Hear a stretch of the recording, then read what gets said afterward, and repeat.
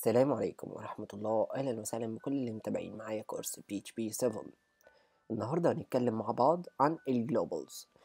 ال globals تعرفها هي array تكمن في ال super globals لل PHP زي ما درسنا الحلقة اللي فاتت إحنا عرفنا في حاجة في ال PHP اسمها super globals ال super globals عرفناها اللي هي ممكن بتكون في variable اسمها globals server request post get files environment أو cookies sessions. تمام. النهاردة هنتكلم مع بعض إيه هي ال variable اللي اسمها globals.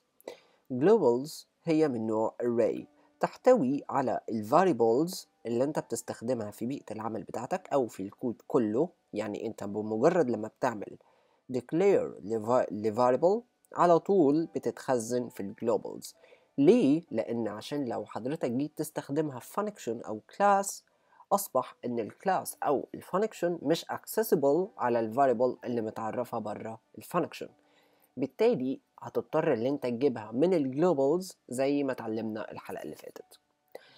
نرجع سريعا للحلقة اللاللي فاتت واللي ما شافهاش يا ريت يتفرج عليها. لاحظنا هنا كان عندي function اسمها calc وعندي variable اسمها حازم فيها I'm حازم. نرجع لل function itself ال function نفسها. هنا لو شلت global حازم مش هيطبع حازم. عرفت global حازم اللي أنا بستدعيها من ال global كلمة global هشرحها لكم دلوقتي دي بتعمل إيه. حازم أصبح اتطبعت عظيم. إيه هي بقى ال globals طيب أنا هعمل comment على ال function هنا. و comment على ال variable دي أو أمسح ال variable دي أنا دلوقتي عايز أطبع حازم. عندي طريقتين. ممكن أقول له ايكو حازم. هتطبع معايا. تعال نجربها مع بعض. هنا.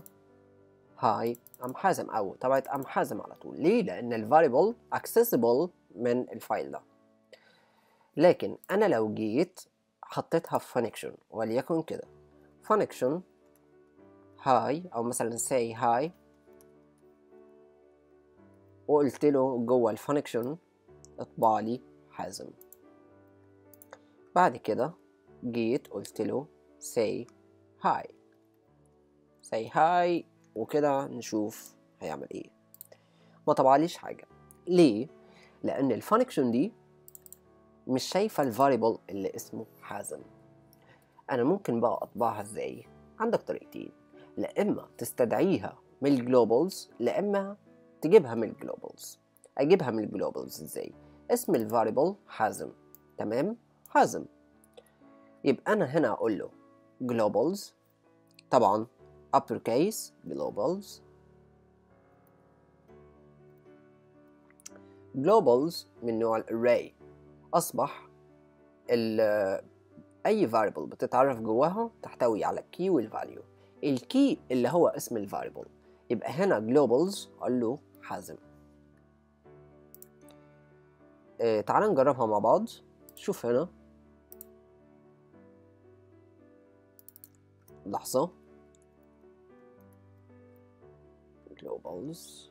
بعد كده حازم. طبع لي. Hi I'm حازم. ليه؟ لأن أنا جبتها من ال globals لأن ال variable أو أي variable بعملها أنا بسيبها في ال globals عشان أقدر أوصل لها من أي function تانية. لو مش عايز أجيبها من ال globals بالشكل ده أنا ممكن أقول له مثلا هنا إيكو حازم normally لكن قبل ما أقول له إيكو حازم أسحبها أول من ال globals يبقى أقول له global global بعد كده حازم أنا هنا بقول له هات لي variable حازم من ال globals حطها لي في ال function تعال نجربها كده مع بعض. طبع لي Hi I'm حازم. فهمت الفكرة ماشية إزاي؟ يبقى النهارده عرفنا إيه هي ال globals لازمتها إيه أساسا؟ الدرس الجاي بإذن الله هندرس ال get وبعد كده ال post وال request والكلام ده كله. أتمنى ان حلقه النهارده تكون مفيدة. لو عجبتك الحلقة شيرها. إحنا بننشر علم ما بننشرش علم إحنا بفلوس كل كل اللي بنقدمه مجاني فانت ساعدنا اللي هو يوصل لغيرك. أشوفكم الحلقة الجاية والسلام عليكم ورحمة الله وبركاته.